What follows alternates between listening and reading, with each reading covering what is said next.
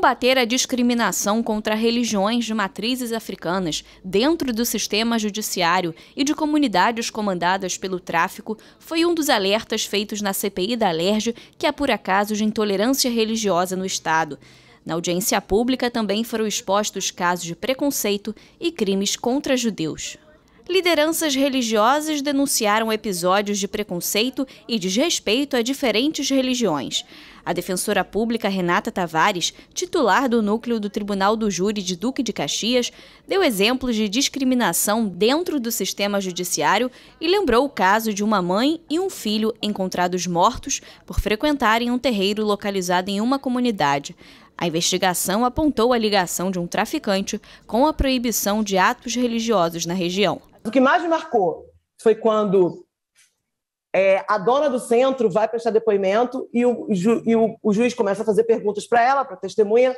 Aí ela fala, aí tem uma hora que ela fala assim, doutor, ninguém mais bate, ninguém mais bate macumba. Essa foi a expressão. Vocês vão me desculpar, mas são expressões literais que eu ouvi nesse dia da audiência, que, que eu acho que está gravado.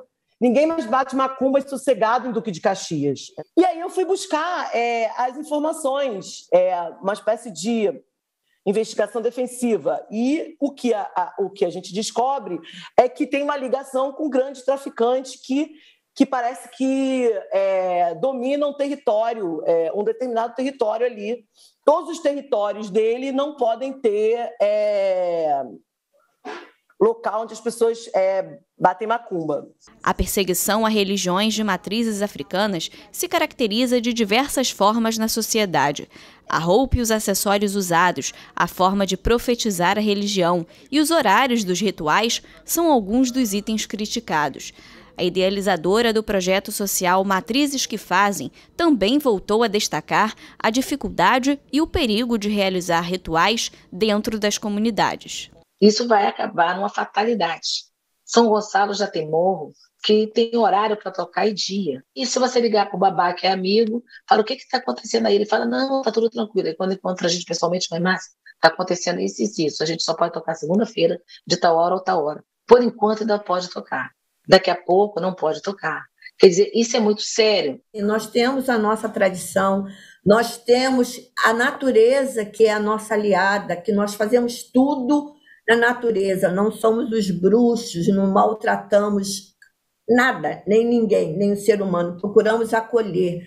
A nossa casa é porta aberta. O preconceito e crimes contra judeus também foram denunciados na reunião pela conselheira da Associação Religiosa Israelita e membro da Comissão de Combate à Intolerância Religiosa, Daiane Cooperman. Ela ressaltou que rotineiramente são vistas suásticas, símbolo do nazismo, pichadas em igrejas, salas de universidades e templos judeus. A comunidade judaica, infelizmente, está escaldada com esses ataques a pesquisa da IDL mostra que uh, 25%, uma pesquisa que fez no mundo inteiro e no Brasil, um em cada quatro respostas demonstrou tendência a ser antijudaica, antissemita, antisionista ou anti-israelense.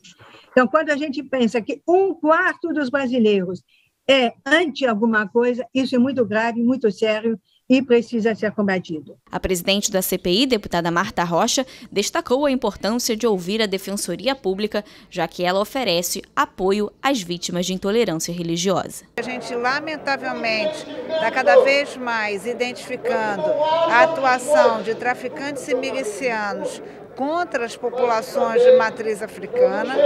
A Defensoria Pública registrou a importância da gente trabalhar desde o início da, do, da vida do cidadão, através da escola, do sentimento da, pela não intolerância e sem dúvida nenhuma a gente vai é, construir um programa de trabalho para que alcance todas as áreas das políticas públicas.